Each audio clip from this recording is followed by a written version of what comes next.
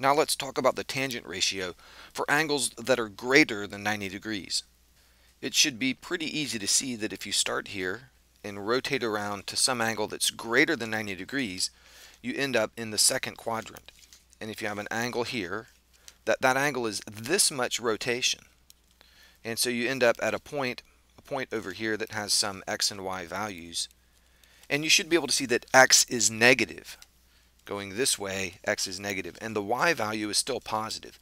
So the tangent ratio, which is y over x, is going to be negative because it's going to be a positive number divided by a negative number. So the tangent ratio anywhere in the second quadrant should be negative. And a quick example, what's drawn here is a 117 degree angle. Theta right here is accurately drawn at 117 degrees. And I'll give you the x and y coordinates there. y at that at that point right here, y is 0.891 and x is negative 0.454. So if we calculate the tangent of theta, we have 0.891 over negative 0.454 and clearly that's going to be a negative number because of that negative sign right there and it comes out to negative 1.963 and if we do that on the calculator that's what we should get the tangent of 117 degrees, they're negative 1.963. If we if we round that to three decimal places, we get negative 1.963. And these numbers here were given to three decimal places accuracy. So the point here is that in the second quadrant here, tangent should be negative, and you should understand why. Now think about a 180 degree angle. We start here and we rotate halfway around the circle we end up right there on the opposite side. So what's the value of the tangent, the tangent right there? Well, at this point, that's the point negative 1 comma 0. So x, in other words, is negative 1 and y is 0. So obviously y over x, if you put a 0 in the numerator, we have a negative 1 down there, but it doesn't really matter. With the 0 in the numerator, we get 0. So the tangent of 180 degrees is equal to 0.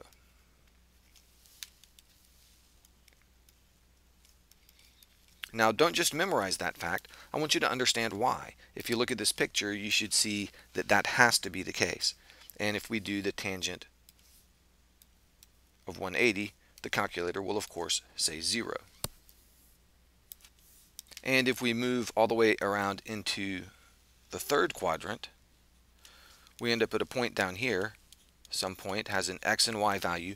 And in the third quadrant, the x value and the y value are both negative. So if we do this calculation, y over x, we have a negative number divided by a negative number, and the tangent will be positive. So anywhere in the third quadrant, that reasoning will apply. Anywhere in the third quadrant, the tangent should be positive. For example, here's a diagram showing a 231 degree angle. So if we start here and rotate around, we rotate through 231 degrees of rotation and that puts us out here at this point and I'll give you the x and y values. x here is negative 0.777 and y is negative 0.629 and so you can see the tangent of theta if we just divide y over x we're dividing a negative number negative 0.629 over a negative number which will of course be positive. and that comes out to 1.235 when we do this division we get this number. And so on the calculator, if we put in the tangent of this angle, and again, uh, that's that's drawn at 231 degrees, theta there. It's 231 degrees. If we put in 231 degrees on the calculator, we should get the same number. So tangent of 231, and sure enough, 1.235. Now let's imagine rotating around 270 degrees. So we come all the way around to right there, three quarters of a circle, and we end up here. So you can think of this much rotation, 270 degrees of rotation. Well, think about that point. x is equal to 0 and y is equal to negative 1. That is the point 0 comma negative 1. So if we calculate the tangent ratio, y over x, we're doing negative 1 over 0. And we can't do this. We can't divide by 0. The tangent is undefined at that point. You could say the tangent has a value of infinity at that point, because dividing by something infinitely small gives you something infinitely large, although it's a little unclear whether it should be positive or negative infinity at that point. The point here is you can't calculate a value for the tangent at that point. And if we look at the calculator, watch this, tangent of 270, error, domain.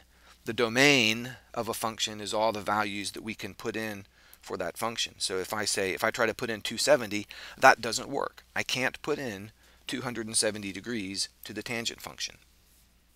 And so again, you should know that the tangent function has no value at 270 degrees. You can't calculate the tangent of a 270 degree angle. But don't simply memorize that fact, understand why.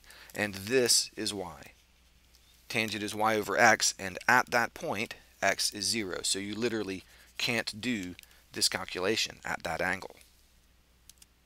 Okay, now let's imagine going all the way around the circle into the fourth quadrant. So we come over here somewhere into the fourth quadrant. We end up perhaps here. And of course we have a point that has an x and a y value and it's easy to see that the x value here will be positive and the y value there will be negative.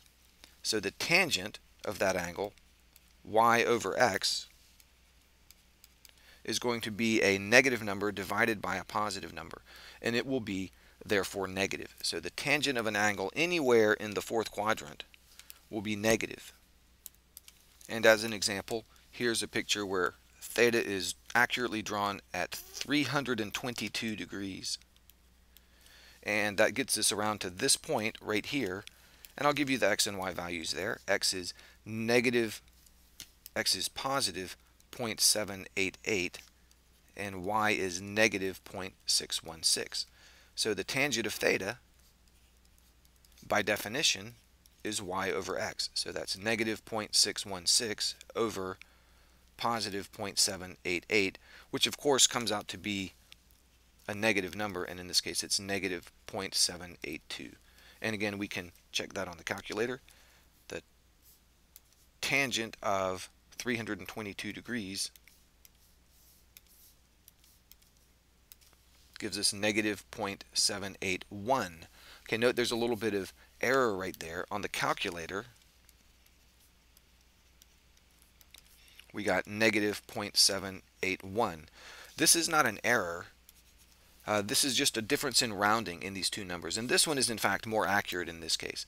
These numbers were rounded and we accumulated a little bit of rounding error that showed up here.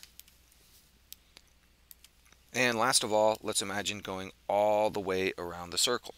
360 degrees. That of course gets us right back to where we started.